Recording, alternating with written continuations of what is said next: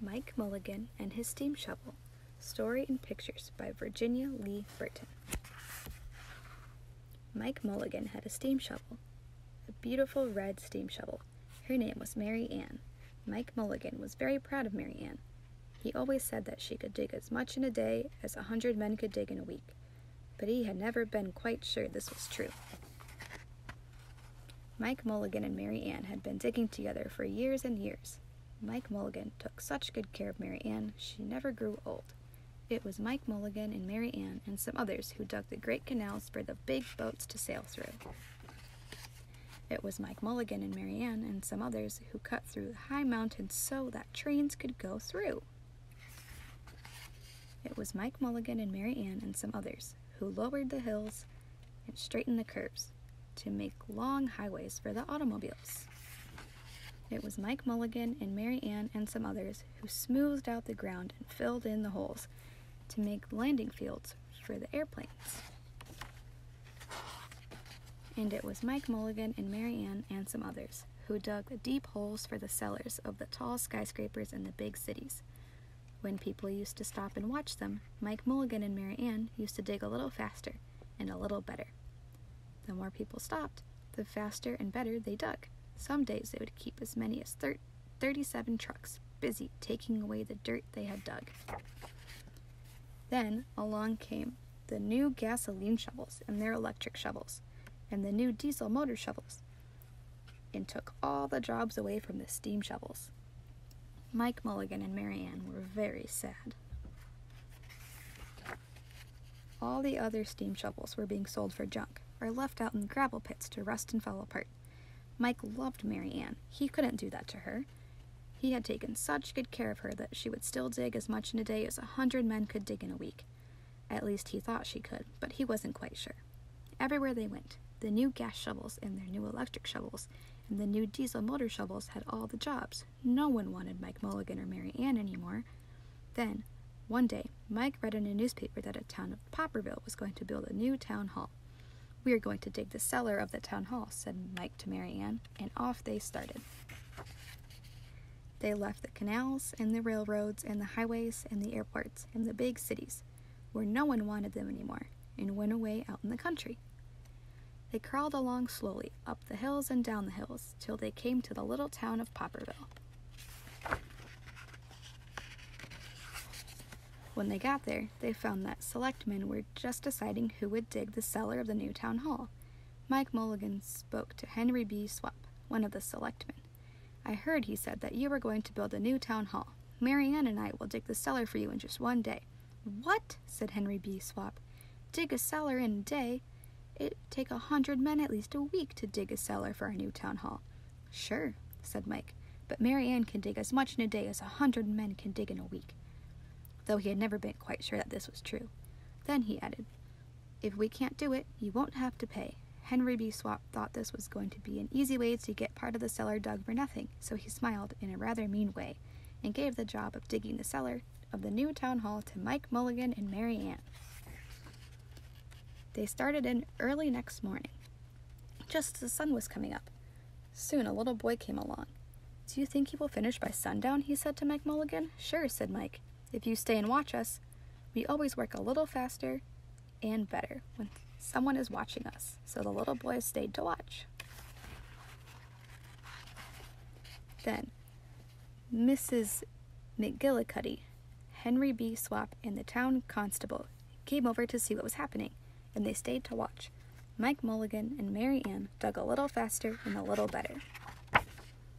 This gave the little boy a good idea. He ran off and told the postman with the morning mail, the telegraph boy on his bicycle, the milkman with his cart and horse, the doctor on his way home, and the farmer and his family coming into town for the day, and they all stopped and stayed to watch. That made Mike Mulligan and Mary Ann dig a little faster and a little better. They finished the first corner neat and square, but the sun was getting higher. Clang, clang, clang, the fire department arrived. They had seen smoke and thought there was a fire. Then the little boy said, Why don't you stay and watch? So the fire department of Popperville stayed to watch Mike Mulligan and Mary Ann. When they heard the fire engine, the children in the school across the street couldn't keep their eyes on their lesson. The teacher called a long recess and the whole school came out to watch. That made Mike Mulligan and Mary Ann dig still faster and still better. They finished the second corner neat and square, but the sun was right up in the top of the sky. Now the girl who answers the telephone called up the next towns of Bangerville and Bopperville, in Kipperville and Kopperville, and told them what was happening in Popperville. All the people came over to see if Mike Mulligan and his steam shovel could dig the cellar in just one day.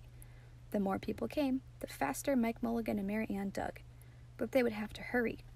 They were only halfway through and the sun was beginning to go down. They finished the third corner, neat and square. Never had Mike Mulligan and Mary Ann had so many people to watch them. Never had they dug so fast and so well. And never had the sun seemed to go down so fast. Hurry, Mike Mulligan, hurry, hurry, shouted the little boy. There's not much more time. Dirt was flying everywhere, and the smoke and steam were so thick that the people could hardly see anything. But listen bing, bang, crash, slam, louder and louder, faster and faster. Then suddenly it was quiet. Slowly the dirt settled down, the smoke and steam cleared away, and there was the cellar, all finished. Four corners, neat and square, four walls, straight down, and Mike Mulligan and Mary Ann at the bottom, and the sun was just going down behind the hill. Hooray! shouted the people. Hooray for Mike Mulligan and his steam shovel! They have dug the cellar in just one day. Suddenly the little boy said, How are they going to get out? That's right, Mrs. McGillicuddy. To Henry B. Swap, how is he going to get the steam shovel out? Henry B. Swap didn't answer, but he smiled in a rather mean way. Then everybody said, How are they going to get out? Hi, Mike Mulligan. How are you going to get your steam shovel out? Mike Mulligan looked around at the four square walls and four square corners and he said, We've dug so fast and we've dug so well that we've quite forgotten to leave a way out. Nothing like this had ever happened to Mike Mulligan and Mary Ann before, and they didn't know what to do. Nothing like this had ever happened before in Popperville. Everybody started talking at once, and everybody had a different idea, and everybody thought that his idea was the best. They talked and they talked, and they argued and they fought till they were worn out, and still no one knew how to get Mike Mulligan and Mary Ann out of the cellar they had dug. Then Henry B. Swap said, The job isn't finished because Mary Ann isn't out of the cellar, so Mike Mulligan won't get paid. And he smiled again in a rather mean way. Now the little boy, who had been keeping very quiet, had another good idea. He said, Why couldn't we leave Mary Ann in the cellar and build the new town hall above her? Let her be the furnace for the new town hall, and let Mike Mulligan be the janitor. Then he won't have to buy a new furnace, and you, we could pay Mike Mulligan for digging the cellar in just one day. Why not? said Henry B. Swap, and smiled in a way that was not quite so mean. Why not? said Mrs. McGillicuddy. Why not? said the town constable. Why not? said all the other people. So they found a ladder and climbed down into the cellar to ask Mike Mulligan and Mary Ann. Why not? said Mike Mulligan. So it was decided, and everybody was happy. They built the new town hall right over Mike Mulligan and Mary Ann. It was finished before winter. Every day the little boy goes over to see Mike Mulligan and Mary Ann, and Mrs. McGillicuddy takes him nice hot apple pies.